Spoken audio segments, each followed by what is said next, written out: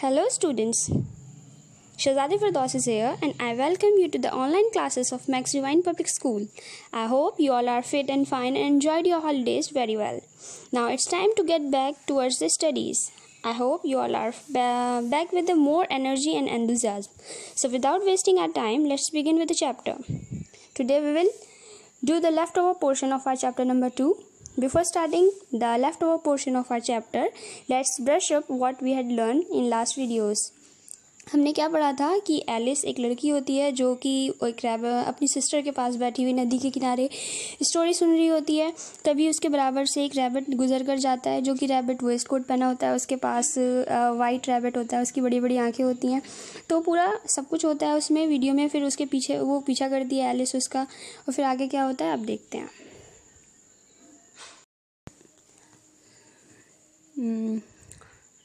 This is आज chapter number second और जो हमने जितना कवर कर लिया था लास्ट वीडियोज़ में, अब उसके आगे का पढ़ेंगे।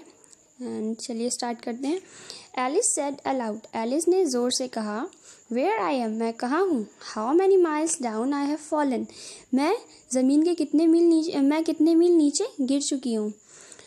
I must be getting somewhere near the centre of the earth ज़रूर मैं कहीं सेंटर ऑफ़ द अर्थ मतलब अर्थ के बीचों बीच में जा रही हूँ।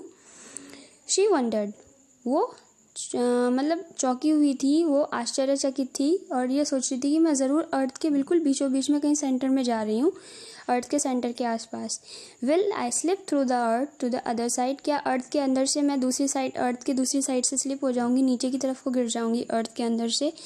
वेन सडनली तभी अचानक से थम थम, जो गिरने की आवाज़ होती है ना, वो हुआ। She come upon a heap she came upon a heap of sticks and dry leaves and the fall was over वो मतलब गिर चुकी थी नीचे, किस चीज़ पर गिरी थी वो? एकदम से अचानक से किस चीज़ पर गिरी वो? थम थम की आवाज़ हुई, वो किस चीज़ पर गिरी? Heap of sticks and dry leaves dry leaves और स्टिक्स का हीप बना हुआ था, एक ढेर लगा हुआ था, वो उस पर गिर गई।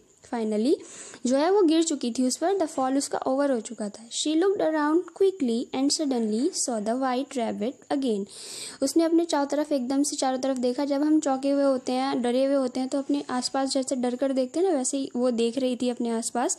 अचानक से उसने वाइट रैबिट को फिर से देखा। इट डिसअपेयर्ड फिर वो गायब हो गया। सेइंग और कह रहा था, ये कहते हुए उसने, वो गायब हो गया। Oh my ears and whiskers. ओ मेरे कान। और विस्कर्स जो रैबिट की मूछें होती हैं, जो मुँह के पास जो हेयर्स होते हैं, उसकी जो मूछें होती हैं, उसको बोला गया है हाउ लेट्स इट्स गेटिंग कितना? कितनी देर हो रही है? ठीक है। How she long to be among those beds of bright flowers and those cool fountain और वो ये सोचने लगी कि कैसे वो सपने, कैसे वो लालसा रखती थी, कैसे वो सपने देखती थी, ऐसे among the beds of bright flower ऐसे ब्राइट फ्लावर्स के बेड को देखने के लिए बेड यहाँ फ्लावर के बेड को नहीं बोला गया है, जो फूल वहाँ बहुत सारे ज़मीन पर थे तो ऐसा लग रहा था जैसे कि फूलों का बिस्तर हो, इसलिए उसे फ्लावर बेड बोला गया है। और कूल फाउंटेन्स मतलब कि ये जो कूल फाउंटेन फाउंटेन बोला गया है आपके फवारे को, ऐसे ठंडे पानी के झड़ने के लिए और ऐसे फ्लावर बेड्स के लिए कैसे वो लालसा रखा करती थी, कैसे वो विश किया करती थी। लॉन्ग का मतलब यहाँ पर है कि लालसा रखना विश करना।